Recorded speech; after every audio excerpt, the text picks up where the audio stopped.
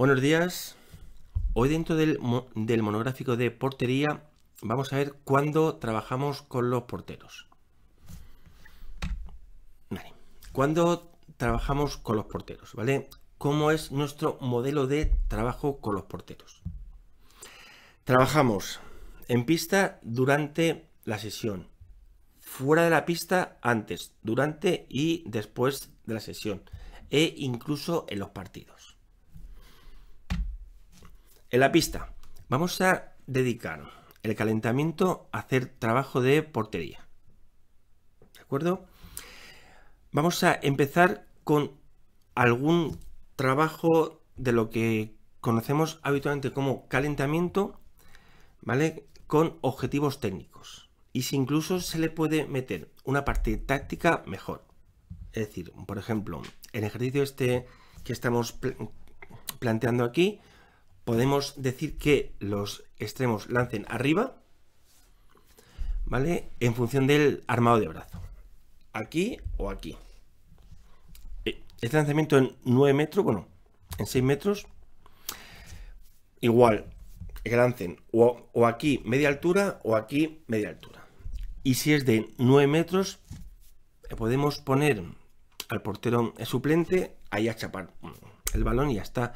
A chapar no, es, es importante que si estamos haciendo el trabajo técnico de calentamiento, el portero no chape, ¿vale? Y que el lanzador lance únicamente por un lado u otro claramente, ¿vale? Por, lo que estamos es haciendo un trabajo técnico con una pequeña parte táctica, ¿vale? Luego ya planteamos un ejercicio puramente táctico, ¿vale? En función de las zonas de lanzamiento y objetivos de la categoría. ¿Cuáles son las zonas de lanzamiento que entendemos nosotros que hay? ¿Vale? Extremos, 6 metros y 9 metros, como ya hemos ido viendo en la parte táctica y técnica. Siempre, como hemos planteado, ejercicios dinámicos, ¿vale? Eh, pues, por ejemplo, este. Siempre tenemos que plantearle a los lanzadores o, defensores cuál es el objetivo táctico que, estamos trabajando. Por ejemplo, en este caso, a los defensores hay que plantearles que no crucen el balón.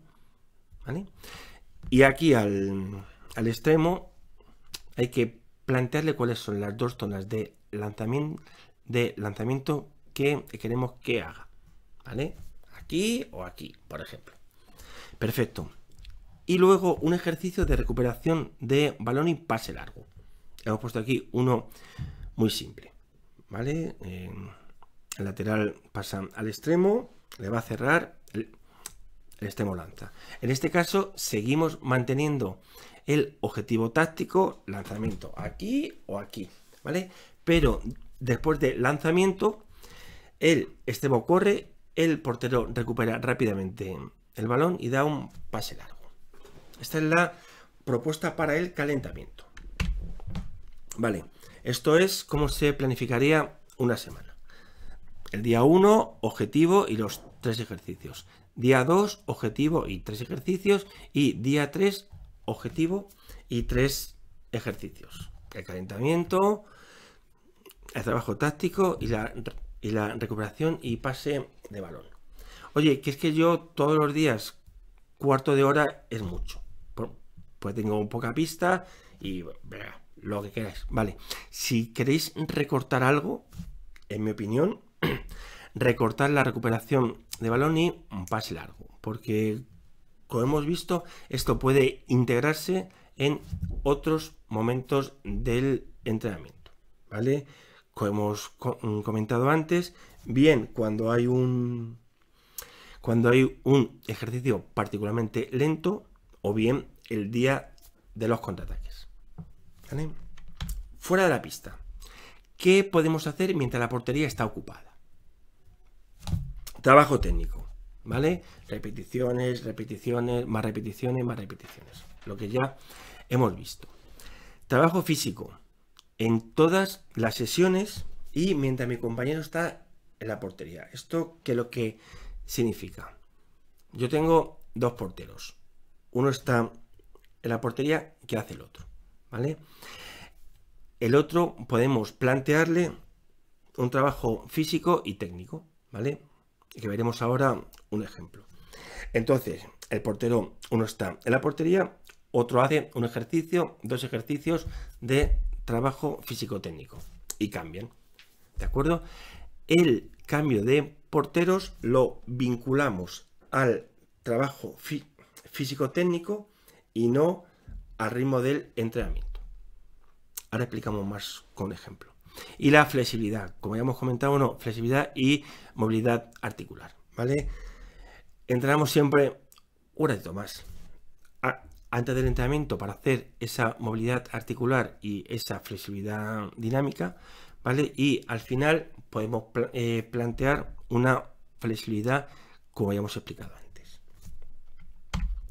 Trabajo físico, ¿vale? Igual, igual que, que planificamos los ejercicios en pista, planificamos los ejercicios que hacen al margen, ¿vale? Entonces, nosotros planteamos un ejercicio general, ¿vale? Que habitualmente tiene que ver con el core, ¿vale? Luego un ejercicio particular, particular porque está referido más al trabajo de porteros y tiene, y tiene relación directa con el ejercicio técnico que se quiere hacer. ¿Vale? Es decir, una sentadilla, y luego trabajamos el, el espagat, por ejemplo. Y siempre acabamos con un ejercicio de velocidad y o coordinación. ¿Vale? Como ya hemos dicho, si quiero que el portero corra, tiene que ser rápido. Y también metemos coordinación porque es que no hay más espacio para meter la coordinación. Entonces, ¿cómo sería? Puede cambiarse cada ejercicio o cada dos ejercicios. Hay un portero en portería. Otro está haciendo la plancha que indicamos aquí. Cambian. Uno entra a la portería, otro hace la plancha. Cambian. Uno está en portería, otro hace las sentadillas que hemos puesto aquí en la primera sesión. Cambian, etcétera. ¿Vale? Esto es para un cambio muy, muy dinámico. Si consideramos que es muy dinámico, ¿vale? Excesivamente, que hagan dos ejercicios. Que hagan la plancha y la sentadilla. Y cambien, ¿vale? La idea es que ningún portero esté quieto. Eso sí, que no hagan los cuatro ejercicios porque tampoco es interesante que estén 10 minutos en la portería del tirón. Es mejor cada dos minutos tres y que cambie. ¿De acuerdo? Y luego, en los partidos, ¿vale? En los partidos podemos seguir haciendo trabajo de porteros, sí. Para empezar, el, calentamiento que hace el equipo, aunque aquí no esté puesto, puede ser con lanzamientos dirigidos. Puede ser un trabajo táctico. Pero bueno, a lo que yo estaba aquí escrito, ¿vale? Festejar acciones positivas, ¿vale? Tenemos que intentar inculcar a los porteros que, que si la paran, tienen que alegrarse. Parece una cosa muy obvia, pero es que no es así. Muchas veces nos pasa que el portero la para y es que como que se pone triste. No, le ha parado, déjame en paz y tal. Esto tiene mucho que ver con la captación. Muchas veces captamos a porteros que simplemente son porteros porque no quieren o sea, no tienen la suficiente personalidad como, para negarse. Entonces, pues, pues es complicado que se animen cuando hagan una parada. ¿Vale? Cosa importantísima, ¿vale? Solo corregimos lo que entrenamos. Es lo que hemos comentado antes. Yo no puedo no trabajar nunca contra ataques y llegar al partido que el portero no corra y ¡ah! Es que hay que correr. No, no, no, no. Lo has entrenado. ¿No has entrenado? No lo exijas aquí, ¿vale? Solo corregimos lo que entrenamos. Gestos privados de comunicación. El siguiente balón, ¿vale? Como hemos hablado antes del trabajo psicológico, ¿vale? Muchas veces es importante que el portero tenga algo a lo que agarrarse cuando las cosas van mal. Un día de estos que el balón no sé qué, el árbitro es que la defensa, uff, la grada de estar, la iluminación, la pista, todo sale mal, ¿vale? Es, es importante que tengamos algún gesto privado entre el banquillo y la portería para que, para recordarles que lo que realmente importa es el próximo balón. Estos 44 que te han metido ya, no los sacan del marcador, ya están ahí arriba, ya esos no se quitan. El árbitro los ha apuntado y ya es gol. Pero sí que es importante que el siguiente balón intente pararlo. ¿Vale? Para ello, lo que yo les intento transmitir es un gesto, ¿vale? Lo que les hago es, es este gesto, que es el siguiente balón, ¿vale? Preocúpate únicamente del siguiente balón. Los que ya han entrado, ya esos, el lunes hablamos de ellos en entrenamiento, pero hoy preocúpate del siguiente balón.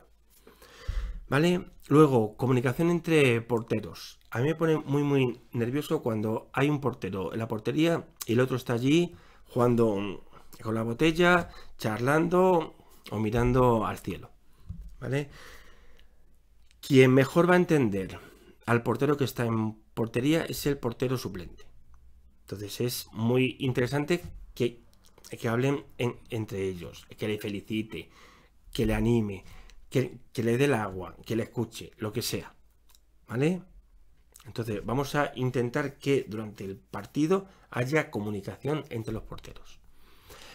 Y luego mm, tenemos que conseguir, al hilo del anterior, que el portero suplente atienda al partido. Y aquí pongo que si la planilla es una buena idea. Para mí, en formación, la planilla solo sirve salvo que sea un campeonato de España donde quieras hacerle tú la planilla para indicar dónde lanzan, bla, bla, bla. Si no, solo sirve para que el portero esté atento al partido. Si tú le pones al portero que está suplente una planilla y le explicas cuatro conceptos sencillos, vas a conseguir que por lo menos esté mirando el partido y no esté mirando ahí al, al cielo. ¿Vale? ¿De acuerdo? Venga, vamos allá como resumen casi de todo el curso, ¿vale? O sea, esto es lo más importante. Trabajamos en todas las sesiones con los porteros. En todas, absolutamente en todas. ¿Cuándo? Antes, durante y después.